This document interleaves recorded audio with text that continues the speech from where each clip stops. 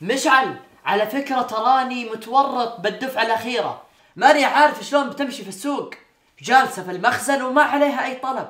نطبع عليها أسماء لاعبين وأفرقة مشهورة. وتمشي والشباب يشترونها بدون تفكير. طيب أبى أسألك الحين الفنيل الواحدة لو بنطبع عليها كم راح تكلفنا؟ ريال واحد بس. يا سلام يا سلام. يعني راح تطلع علينا ب 11 ريال ونبيعها للتاجر ب 22 ريال. وهو يبيعها في السوق بالسعر اللي هو يبي. 40 60 ريال. السلام عليكم. أهلا. هلا ومرحبا. شيخ السوق كيف حالك؟ بالله يا أبو سالم أبي هالفنيلة اللي تذكر أخذتها من قبل شهرين. أبي منها أربعة ألوان. جيب لي 100 درزن 100 درزن أوه معليش.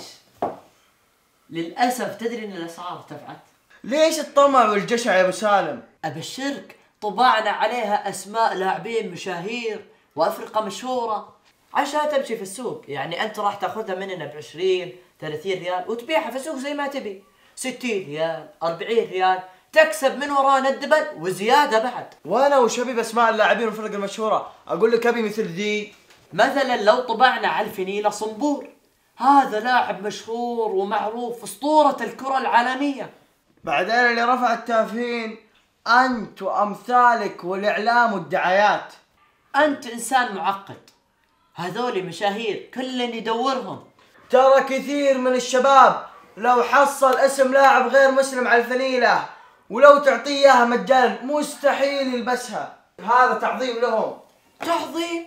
أصلا الشباب معجبين بمهاراتهم الكروية بس. وقصاتهم وحركاتهم.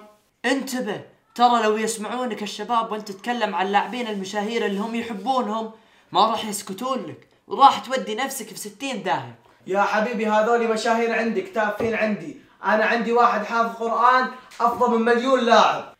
اللي يمدح لاعب يا أبو سالم غير مسلم أو يعظمه ترى موضوعه خطير. ارجع لفتوى العلماء. لا حول ولا قوة إلا بالله. أنا أقول ليش تجعل ظهرك لوحة إعلانات للاعب؟ لممثل لشركة. أنت أحق بهذه اللوحة.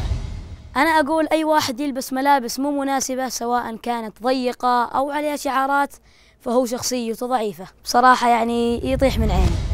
هذا لوحة إعلان بالمجان تخدم فيها البرازيل وموزمبيق وزيونخ. طبعا الملابس اللي يشترونها أولادكم قد تكون فيها أضرار صحية جسدية أو نفسية. إخواني من تشبه بقوم فهو منهم. أقول محمد آه جيب لي موية. سم؟ موية. سلامات؟ الله يسلمك.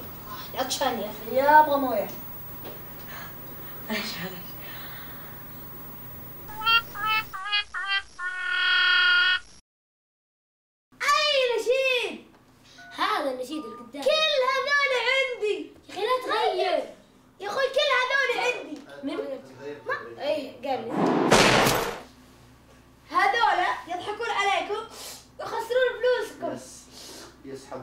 يسحبون يسحبون فلوسكم قد هذه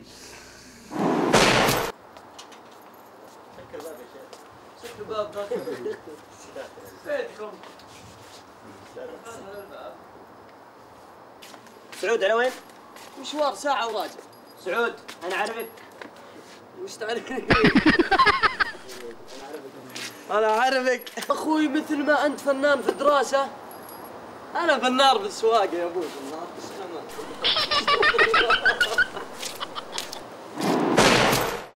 هذا شاي أيوه. كيف اشربه؟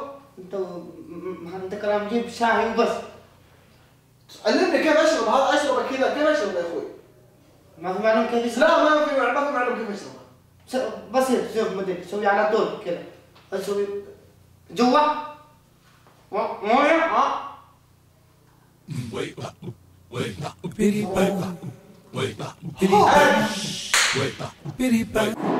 شوفوا ردة فعلهم.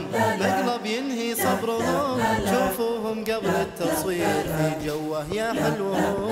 شوفوا ردة فعلهم. مقلب ينهي صبرهم شوفوهم قبل التصوير. في جوه يا حلوهم.